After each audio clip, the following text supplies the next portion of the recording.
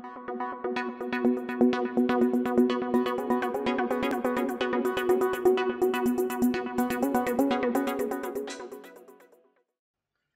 guys, welcome to another Nest.js tutorial. In this lesson, we are going to see how we can use Nest.js to serve single page applications. In this example, a React app. So instead of having your Nest uh, maybe API on a different URL and your React application on a different URL, our goal is to have these two different uh, applications or projects running in the same URL. For our local environment, this can mean that our Nest application is running in localhost 5000.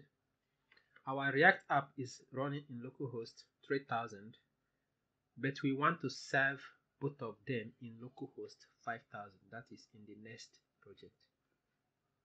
To get us started, um, this lesson assumes that you know how to set up, how to create a new React app, as well as how to create a new Nest application. So that very basic understanding of React or and Nest.js is required. With that in mind, um, I've already created a bare bone, you know, bare minimum application for both React and Nest. For Nest, I use the Nest CLI. This is uh, the command Nest new, the project name. I called my my my Nest. That is the name of my Nest application.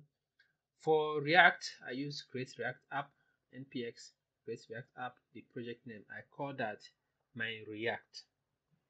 And over to VS Code. This is my Nest application there's nothing much happening here. I only made a tiny change to the default structure that NestCLI will give you when you create a new project. This used to be, this is normally get hello, I think. So instead of returning a, a string, I'm just returning this dummy hard coded list of users, array of users that we are going to use to test what we are doing. Another change is um, over here because currently the way it is the react is in a different project and all that. We we enable uh, cross origin resource sharing to allow all just to allow us demo do the demonstration. Of course this is not what you want to use for production this kind of configuration. So that is for the Nest application i will head over to to the React project. For the React app, what we have is a basic structure when you use create React app to scaffold a new React application. So, but I added just a little piece of code there. Um, what is going on here is that I am making request to the Nest application, this very one here, getting the list of users. If you remember where is it? The controller this. So when we get to the home page url this will just return the list of users. That is what we are making um, a request here in the use effect hook to fetch list of users when this component is mounted. Then down here we are listing out the result that is the list of the users so I will just go ahead to run these two projects so we see what we have before we proceed. For the Nest application, I'll say npm run start dev. So it will run and watch for changes. For the React project, I will just say yarn start. We wait for the two application to start. All right both our Nest application and react app they're up and running. If i head over to the browser this is the response we get from the Nest application the list of user that i had coded in the controller and over to the react app remember that we are fetching that list of user from the on the request. That's what we have over there as well. Um, so that is the request here. And we set user. We display the list of users. Now what we want to do is to use nest to serve this instead of serving it on a different url we're going to head over to nest.js documentation for that um, we're going to make use of the package nest.js serve static. All we have to do is copy it, copy that npm command to install. I will stop the server for now, the two servers. In the Nest application, I will paste npm install save uh, nest serve static and install the package. We wait for that to install. It looks like um, the installation failed.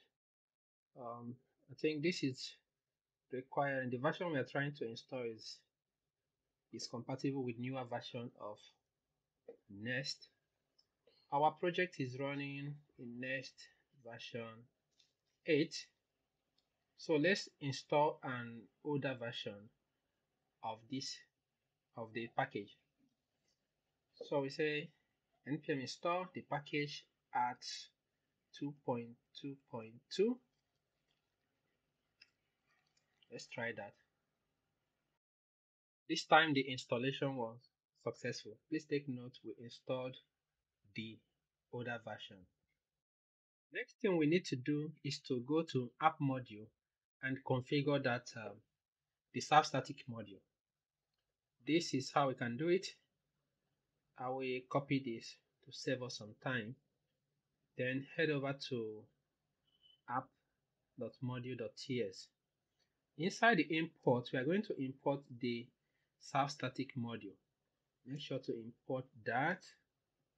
And this, this is where Nest is going to look for the front end application, right? So we say root path is path.join, join. Make sure to import that from path. So this is where Nest is going to look for our React our front end, our SPA um, static application. I think client is the default anyway. So even if you don't set, you don't add this option, I think it should be client by default. It therefore means that in our Nest application, we're going to have a folder in the root called client. This folder will contain the React application after we have built the React app. When we run um, yarn build to build our React, React app, the content of that will be um, what we have as our client, you know, the client folder here. So let's go over to React application and run build first. Over to the React app, I'll say yarn build we wait for the build to complete. So our build succeeded. Let's head over to, to the React project. In the React app, you notice that we have this build folder that was just generated. Then another thing to take, to take note of is that by default, Nest.js, Nest uh, serve static. Let me go over there is expecting that when we get into this client folder, we are going to see a file called index.html, right? Uh, coincidentally, our React build, we have index.html. Of course, these are configurable. You can check the documentation to see the other options, how to change some of these defaults, right? So make sure to check the documentation. But since our React build has this index.html, um, I think that should serve. So I will copy the uh, the build folder, copy, head over to the Nest application and paste that in the root. But because from our configuration, we said that this this should be named um, client, that is the folder, if you remember our configuration here. I will go ahead and rename this to client. Of course, you can call it build if you want to, but I think client makes sense. Whatever you have here should be what you have for that uh, front end application. So I'll call this client.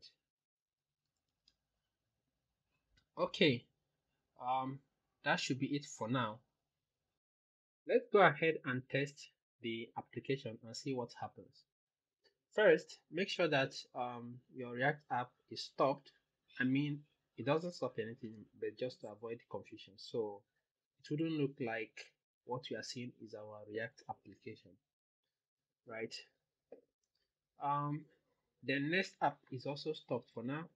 I will start the Nest application again by running npm run start dev. That will start our Nest app. The React app is shut down for now, though it doesn't really matter. We wait for the Nest application to start. Our Nest application is up and running. So I'll head over to the browser. This is the old React app. If I refresh now, you see that it fails because it is not running. And then this is the Nest application. Let me refresh, refresh that. Oh, what happened? We expected to see our React homepage here since we are already serving our React application in our Nest application. That is when we visit localhost 5000, we expected to see the React homepage. But Nest is still giving us the list of users. The reason for that is that there is some kind of confusion here. Uh, Nest is kind of doesn't know should I serve the list of users and the homepage URL or should I serve um, the React homepage? We can clear that confusion. Um, there are different options, I think. For example, we can head over to the app controller. This is the method and this is the endpoint that returns the list of users. We can treat this as an API, right? We can say API slash users to return the list of users instead of our application homepage. So this should solve that um, confusion. If I go ahead and refresh this page one more time, this time we get our React homepage. And of course, the list of users is gone. The reason for that is that remember that we are fetching list of users from localhost 5000, but we just changed that to localhost 5000 slash API slash users. Before we fix that, um, remember that this serve static module has different other options. Like I already mentioned, you can check, please check the documentation to see the things you can configure. For example, we can tell um, the module to ignore our API endpoint, right? So we can use the option exclude, tell it what routes to exclude from the serve static. We say API slash, you know, anything. This is how we can exclude some routes. Okay, if we go back, of course, um, we still get the same result. Now I will go ahead and go to the API endpoint slash API slash users. We get the list of users where we expect it to be now. That is at API slash users. Let's go ahead and update our React project to point to the correct URL. Go to React app. We just have to correct this to API slash users. Save that, but we still need to build and deploy to the Nest application again. So I'll run the command again, yarn build. We wait for the build to complete. While we wait for that, please guys, hit the like button and subscribe if you haven't done so to help the channel grow and so that you can get recommendations when there are new courses. Okay, the build is still running. Build just completed. Um, we do the normal thing, we just copy the build folder, copy, head over to the Nest.js application in the root, and let's remove this client, client folder, the old one. we paste the build and rename to client client we save that okay so we expect that we should have the list of users when we um, okay localhost 5000 this time we get the list of users as expected. Alright guys um, please hit the like button and subscribe. Thank you. And this brings us to the end of the lesson. Please take a deep dive into the documentation and see other options that might apply for your to your project. Until next time, happy coding.